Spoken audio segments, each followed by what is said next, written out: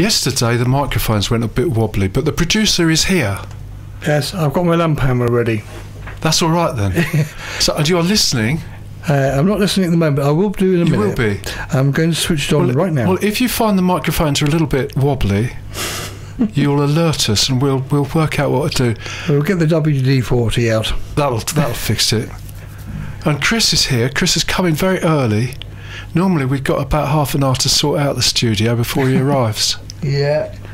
But I um, had to check that you were keeping it in order. well, yes, quite right, Chris. It's my name on the line. I believe you signed the contract. Um, mm, sort of.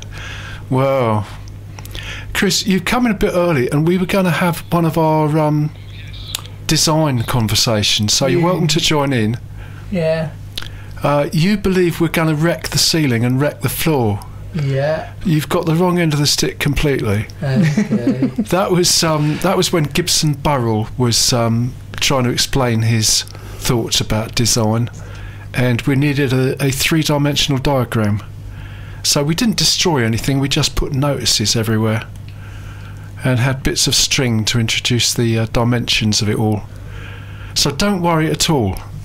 The ceiling at half past ten will be exactly where it is, and the floor will be where it is. Good. There's nothing to worry about. Good.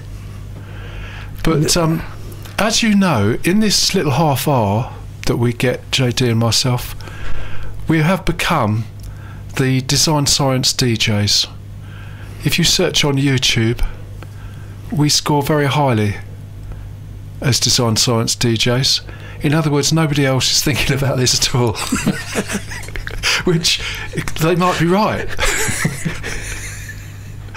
um, JT, do, do, you you still don't think much of the idea, really? You don't think science is, is the right approach for being a no, DJ? no, so it still doesn't agree with my my way of thinking, shall we say?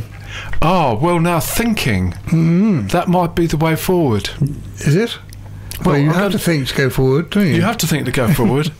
I'm going to put this to you because um, my role is just to introduce things I've found about design science. Okay. Obviously, we are DJs. We, we know that much. So that's all right. We'll But- give the floor back. you think the floor's gone? Yeah. No, we just needed it for um, natural or man made as one Uh. dimension of our design. Okay. What were the other ones? Rational and emotional. There's several dimensions, so if you're going to have three dimensions going at once, we've got we we, we just need. I think we're going to make a special carpet with a notice on it.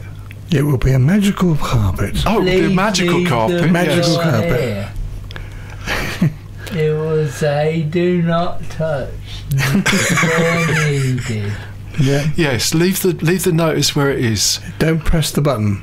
No. Anybody who's confused by this should search for Gibson Burrell on YouTube and um, buy the book eventually. Can I press this button? Yes, you button's can, that? Yeah, yeah, you can press that button. Yes, Uh, Oh, that makes that's the all right. coffee. Anyway, um, does it go? last week on Friday, John and I went to Like Minds, Did you? and there were two master classes, which were sort of workshops, really, about design thinking. And that seems to be the latest incarnation of design science, or at least design science might have contributed something to it. Some people seem to think. So, does design thinking sound any more likely, JD? Design, Design thinking. design thinking. Do we? Ha- do I have to design and think Yes, you need to do both things at once. at the same time? Yes. Gosh, that's complicated. That means I've got to have another brain to think about that. Well, no, you should do it with the same brain. The same brain. Yes. both things at once. Well, I thought I was, uh, you know, in two minds about it. Oh, okay. Well, you can stay in two minds about it, and Yeah. I'll try and make the case that there is somebody who knows about it, hmm and then the ge- the guests may join in at some Mm. point. We are open to guests, so although listeners Chris, may Chris is our guest this morning. well, Chris is our guest this morning. yes. So, Chris, Why not? I'm going to, going to say, I'm just going to put over the basic information what I've discovered from from um, the event. So I'm going to start with Sauce and Kuri, and I'll, I'll put links on on our Facebook page later on. And she talks about collaborative capacities. Gosh. So she works with post-it notes, Mm-hmm. lots of post-it notes, Mm-hmm. and um, also uh, a sort of diagram. For example, making toast. Oh, right. Maybe by the end of this show, we may have dr- done some Make drawings. a bit of toast. Well, we, Can you cancel? Can you help uh, do with that, um? well, we don't we don't actually make the toast. We just sort of have a plan for making the toast That's making this. Okay. Right. and describe it. Uh, We do apologise for making this very funny, but it, it does sound funny in some. well, but you're all right, putting the basics to it. well, that's here's another one. Like the, the Wi-Fi Yeah. was um, not quite as good as people th- thought it might be. Let Yeah. me put it like that. So one of the group tasks was to design how we would persuade the management at the castle Mm-hmm. to invest in better Wi-Fi. Mm-hmm. How we would persuade them. Um, Did No. you manage it? I don't think we did, Chris. No, no, because we we we got very confused as to who we were describing. We, we thought if we described our own frustration, that the management would take pity on us and rush into action. And we gave up on that as a model and decided that we had to show them that um, there would be lots of tweets and Instagram images of the castle scattered across Exeter and Devon and the worldwide whatever Well, and uh, they would uh, they would benefit from this, get lots more bookings. But that was that wasn't in the scope of the original question, so we were told that didn't really matter. Design thinking is very good on rejecting the original brief and starting again. I see. So does that make, does that make sense? Yes. Definitely. If you start something, it doesn't work, you go back to the beginning and start again. Yes. So you would you would just tell the client that um, they've got it all wrong. Yes. So Chris is thinking that by about half past ten, Yes. you and I will have sorted out the studio. Mm. The microphones will be perfectly balanced. Yes. The CDs will be turned on. Yes. The broadband will be tested. Yes. And his show will go faultlessly then for about Yes. an hour and a half. Yes. and I just want to report it. I can rudely interrupt you now because it's past past ten. That's true. It was expected that you would rudely interrupt. It. Well, you're not. You're not going to knock on the door and No. J, J, JD may disappear for about five minutes now to discover which which of the codes you've forgotten getting into the various doors None to get this them. far. None of them. No, that's true. So the show's going very well today, Yeah. except that JD wants to change the the scope. So he? he, I think he does. Does Yes. he want to telescope? Perhaps he wants a telescope. No. a submarine. What's what's going to happen in the next bit is Chris is going to do a show on his head.